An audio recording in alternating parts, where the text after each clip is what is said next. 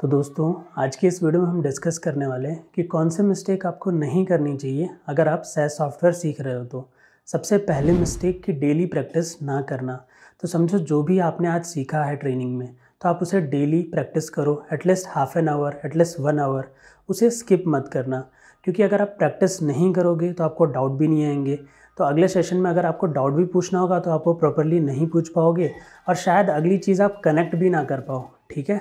तो अगर किसी केस में अगर आप कहीं बिज़ी हो या किसी फ़ंक्शन में जा रहे हो तो मेक श्योर sure करना एटलीस्ट जब आप फ्री हो जाओ तो वापस उसकी प्रैक्टिस करके वापस डाउट पूछ लेना। और दूसरी मिस्टेक मोस्ट प्रॉब्ली करते हैं कि डाउट ना पूछना। अगर आपको कोई भी डाउट हो, अगर आपको लगता है वो डाउट लॉजिकल है मोस्ट प्रॉब्ली मेरा ऐसा मानना है डाउट लॉजिकल कब आते हैं मोस्ट प्रॉब्ली अगर आज आप देख रहे हो, आज आप प्रैक्टिस कर रहे हो तो अभी देखते वक्त या समझते वक्त ऐसा लगे आपको सब आ रहा है। लेकिन जब आप प्रैक्टिस करोगे, आप खुद कोडिंग करोगे तो आपको लॉजिकल डाउट आएँगे। तो अगर आप सेम डे डाउट नहीं पूछ पाते, क्योंकि आप कॉन्फिडेंट नहीं हो कि मेरा डाउट लॉजिकल है या इलॉजिकल तो आप नेक्स्ट डे उस डाउट को पूछ सकते हो और उस डाउट को क्लियर कर सकते हो, ठीक है? तो डाउट पूछना और अपने डाउट को क्लियर करना, ये भी एक ज़रूरी चीज़ है। डाउट ना पूछने से क्या होता है? कि आपका वो डाउट बढ़ता जाता है। एट द एंड आप डाउट भी नहीं पूछते और शायद आपको चीज़ें समझ में भी नहीं आती। और तीसरी मिस्टेक लोग ये करते हैं कि अपने ट्रेनर से कम्युनिकेट ना करना। अगर समझो कि आपको चीज़ें समझ में भी आ रहे हैं, अगर आप अपने ट्रेनर से कम्युनिकेट नहीं करते टेक्निकली उनसे बात नहीं करते, समझो कि जो भी वो चीज़ें चल रही है टॉपिक्स चल रही हैं या नॉर्मली भी आप कम्युनिकेट नहीं करते तो क्या होता है, उससे आपका कम्युनिकेशन डेवलप नहीं होता।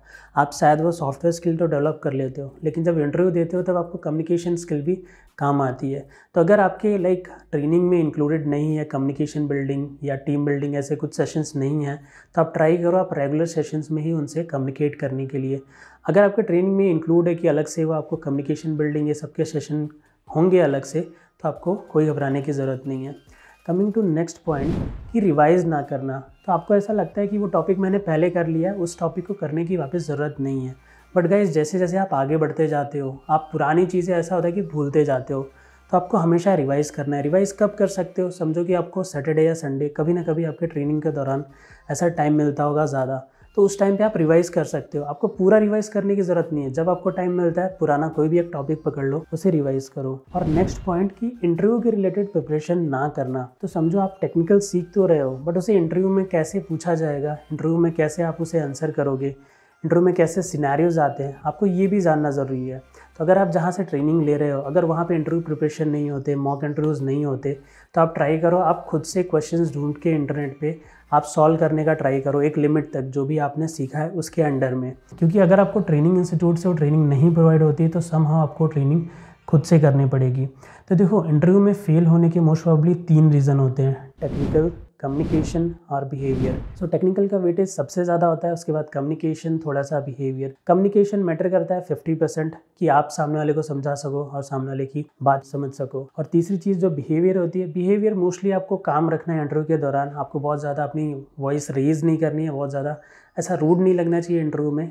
ये बहुत ज़्यादा मैटर नहीं करता बट हाँ मैटर करता है। और लास्ट चीज़ कि आप जब ट्रेनिंग भी ले रहे हो तो अपने ट्रेनर से फीडबैक लेने का ट्राई करो कि आपकी ट्रेनिंग कैसे चल रही है, आपके ट्रेनर को क्या लग रहा है कि आप कितना सीख रहे हो ओके बिकॉज़ शायद आपको नहीं पता होगा, पर आपके ट्रेनर को ज़रूर पता होगा कि आप कहाँ स्टैंड करते हो, आपको कहाँ इम्प्रूव करना चाहिए। तो ये बहुत ज़रूरी है कि अपने ट्रेनर से भी फीडबैक लेना, ठीक है?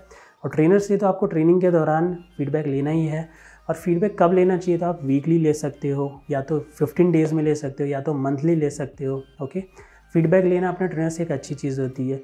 और यही चीज़ आप इंटरव्यू में भी कर सकते हो कि समझो कि आपने एक्स, वाई, जेड कोई भी इंटरव्यू दिया तो हर इंटरव्यू के बाद एक फीडबैक ले लो, जिससे आपको पता चलेगा कि आपको कहाँ आप लैक कर रहे हो, कहाँ आपको इम्प्रूव करना है। और दोस्तों लास्ट पॉइंट ये है कि आप जहाँ से भी ट्रेनिंग ले रहे हो मेक श्योर sure करो कि पहली चीज़ अगर आप सैस सीख रहे हो तो आपको सैस बेस की ट्रेनिंग मिले।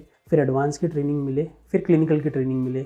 ये तीन चीज़ मैंडेटरी है अगर आप क्लिनिकल के लिए प्रिपेयर कर रहे हो, ठीक है? और अगर आप प्रोजेक्ट कर लेते हो तो आपके लिए थोड़ा सा बेटर हो जाता है। प्रोजेक्ट में क्या होता है? एज डी एडम टेबल लिस्टिंग ठीक है? वो आपके लिए एक बेटर हो जाता है। और लास्ट चीज़, ये भी ट्राई करना कि आप जो बेस एस एग्ज़ाम है, उसकी भी थोड़ी सी प्रिपरेशन कर लो। वो मैंडेटरी तो नहीं है कि हर सेस की जॉब के लिए आपको एग्ज़ाम देना होगा। बट अगर आप वो कर लेते हो प्रिपरेशन पहले से ही तो आपको एग्ज़ाम देने के भी ऐसा लगता है कि मुझे एग्ज़ाम देना चाहिए तो आप वो दे सकते हो।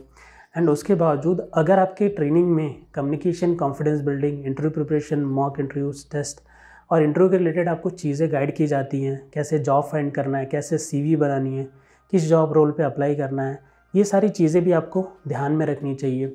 तो लास्ट में क्या चीज़ें ओवरव्यू होनी चाहिए मैं आपको बता देता हूँ। देखो, जहाँ से भी ट्रेनिंग ले रहे हो, base, advance, clinical, project base cess के preparation communication confidence building interview preparation mock interviews CV making how to find job and job assistance खत्म होने के बाद भी एटलीस्ट अगर आपको कोई डाउट हो, कोई कन्फ्यूज़न हो तो एटलीस्ट आपको ट्रेनिंग इंस्टीट्यूट को या वहाँ किसी को भी कॉल करके आप गाइडेंस ले सको कि आप जहाँ पे भी स्टक हो, इस सिचुएशन से कैसे बाहर आओ। तो आशा करता हूँ इस वीडियो में कुछ ना कुछ जानने और सीखने ज़रूर मिला होगा और कोई डाउट्स या कोई भी क्वेश्चन हो तो आप मुझे कमेंट्स में पूछ सकते हो। मिलते हैं अगले वीडियो में, तब तक के लिए Bye bye everyone.